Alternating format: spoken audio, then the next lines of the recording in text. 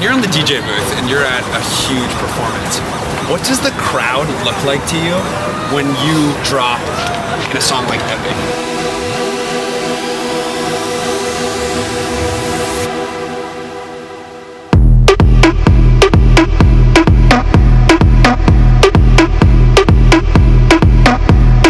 The best thing of a crowd is like when everybody likes the music.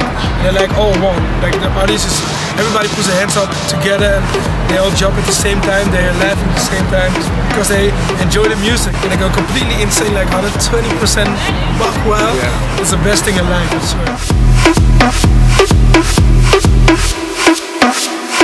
This is Quintino and you're watching Electronic Spotlight. Check it out.